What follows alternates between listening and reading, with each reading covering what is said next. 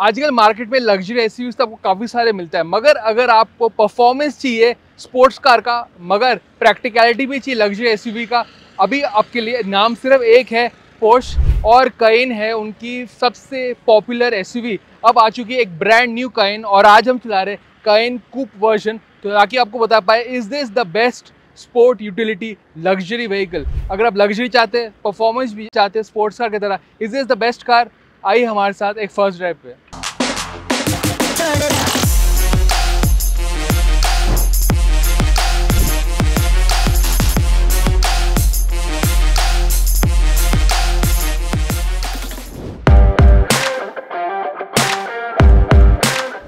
ये है नया पोर्श काइन मगर ये नया जनरेशन चेंज नहीं बेसिकली बड़ा फेसलिफ्ट है।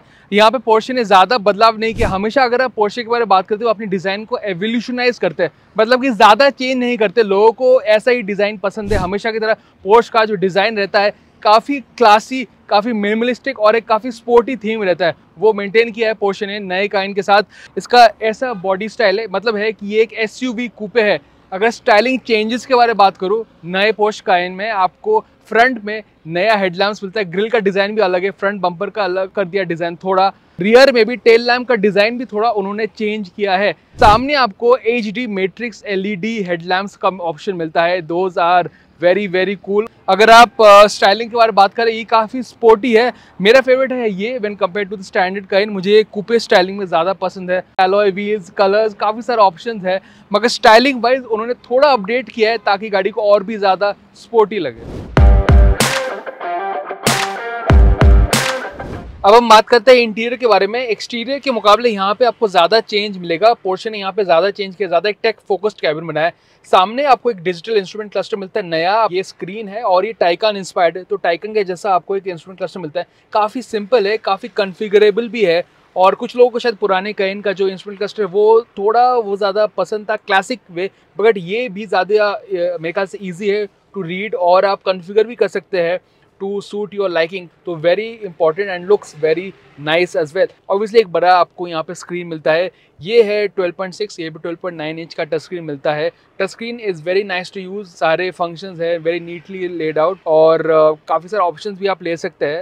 एंड uh, एक और चीज़ यहाँ पे सारे कंट्रोल्स टच uh, एक कंट्रोल पैनल में आ चुका है। मगर कुछ चीज़ें आपको यहाँ पे फ़िज़िकल भी मिलता है जैसे कि टेम्परेचर कंट्रोल का। दैट इज़ वेरी नेसेसरी क्योंकि सारे कंट्रोल्स आप टच देंगे तो on the you on the go use करना डिफ़िकल्ट हो जाता है। That is quite nice premium audio system heated cooled seats electric seats बड़ा panoramic sunroof obviously these are features that you expect all round parking आपको मिलता है, जो आप असिस्ट कर पाएगी पार्किंग के साथ that is also quite nice quality it feels very expensive but very sporty I like the design और स्टेयरिंग व्हील भी नया किया गया है। सारे कंट्रोल्स आपको यहाँ मिलता है। ऑफ़ रोड में आप गाड़ी को उठा भी सकते हैं। और उसके साथ साथ very easy to use layout switch gear is very nice feels very expensive क्योंकि इस प्राइस में ऑब्वियसली आप एक्सपेक्ट करते हो आपको यहाँ पे मिलता है। यस काफ़ी स्पोर्टी कैबिन है। यहाँ पर भी एक और टच स्क्रीन मिलता है जो ड्राइवर साइड को नहीं दिखाई देता फॉर सेफ्टी रीजंस पैसेंजर के लिए वो टच स्क्रीन आपको मिलता है। अगर सेंटर कंसोल में देखेंगे पोर्शन ने गियर स्लेटर को यहाँ से लेकर यहाँ पे बनाया दैट इज़ चेंज और स्टार्ट स्टॉप का बटन भी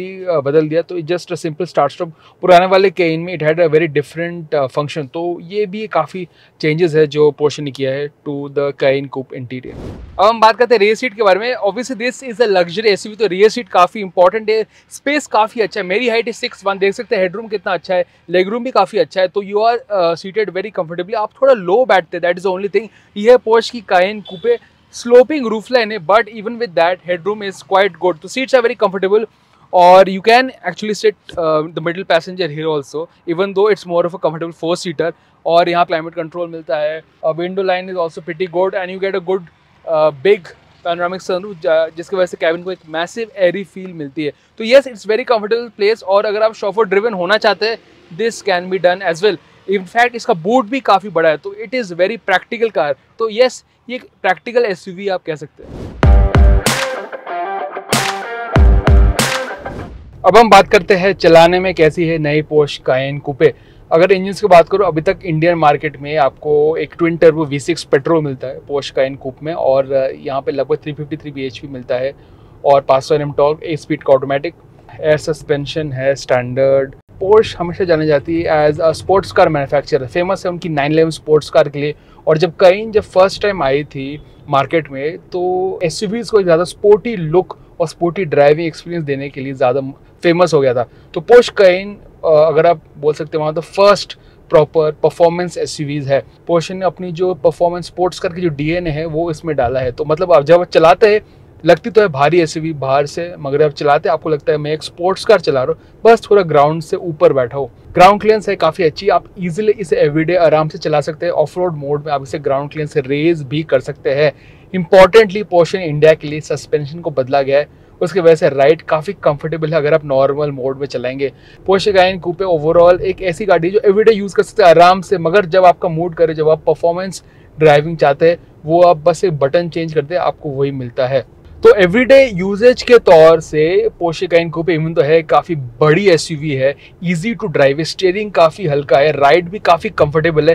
पुराने वाले केन से इसमें राइड डेफिनेटली ज़्यादा कंफर्टेबल किया गया है, भारतीय सड़कों के लिए डेफिनेटली सस्पेंशन ट्यून किया गया है एंड दैट शोज़ तो इजीली आप कहीं लेके जा सकते हैं it is not too firm even though अगर आप स्पोर्ट में डालेंगे बॉडी कंट्रोल काफ़ी अच्छा है। इसका मतलब है जब आप स्पोर्ट दबाएँगे, गाड़ी का जो रिफ्लेक्सेस है, काफ़ी शार्प हो जाता है। गाड़ी है बड़ी, मगर हैंडलिंग में आपको लगता है, मैं एक स्पोर्टी गाड़ी चला रहा हूँ। It is very nice to drive steering weighs up very well आपको एक डायरेक्ट सेंस ऑफ़ कनेक्शन मिलता है, जो स्पोर्ट्स का महसूस होता है। काफ़ी अच्छा इंजन है, अगर आप परफॉर्मेंस के बारे में बात करेंगे। लीनियर पावर डिलीवरी जो आप एक्सपोर्ट करें स्पोर्ट्स कार जैसी रश वो आपको यहाँ पे नहीं मिलता। काफ़ी लीनियर पावर डिलीवरी पोर्शन है ट्यून किया गया है। वर्ल्ड वाइड आपको पोर्शे ज़्यादा ऑप्शन देती है। V8 आपको मिलता है। अभी तक इंडियन मार्केट में ट्विंटर वी सिक्स है। Performance is very smooth very fast three fifty 353 bhp है। तो the car is very fun to drive no doubt about it मगर वो स्पोर्ट्स uh, कार जैसी साउंड वो आपको नहीं मिलता।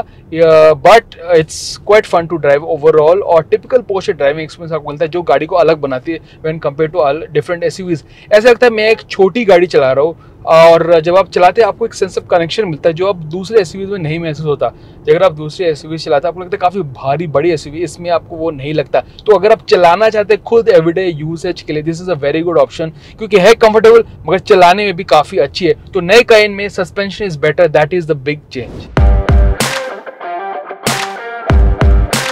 तो ओवरऑल हमारा वर्डिट क्या है? वेल well, अगर आपको परफॉर्मेंस चाहिए अगर आपको खुद चलाना पसंद है मगर कभी कभार आप रोड ट्रिप्स में जाते हैं आपको एक लग्जरी एस चाहिए मगर यू वॉन्ट ड्राइविंग प्लेजर आपको चलाना पसंद है परफॉर्मेंस चाहिए एक एवरीडे फॉर्म में। पोस्ट कायन कूपे आप देख सकते हैं one of the sporty S में से one of the best choices है।